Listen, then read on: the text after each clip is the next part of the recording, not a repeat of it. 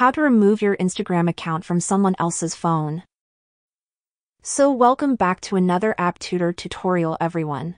Did you log into your Instagram account on someone else's phone or laptop, or any other device but forgot to log out? So if you are logged into your friend's phone, or a family member's device and you are afraid that they might see your messages or other stuff on your Instagram profile, then you came to the right place.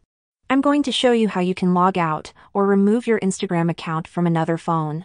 This is a pretty quick and simple tutorial, so just follow my steps. And before we start, if you are new to this channel, please consider subscribing for more videos like this in the future. It would really help out the channel.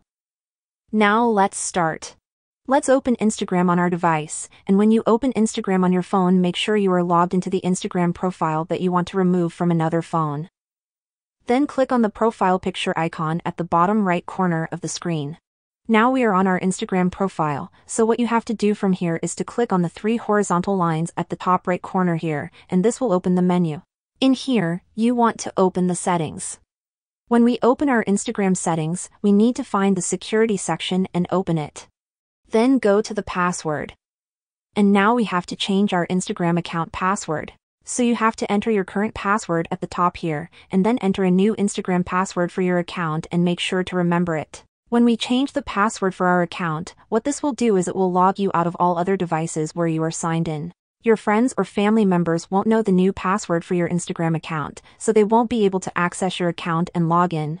And that's how you can remove your Instagram account from other devices. If this video helped you out, then leave a comment down below and leave a like on this video. It would really help out the channel. Thanks for watching and see you in the next one.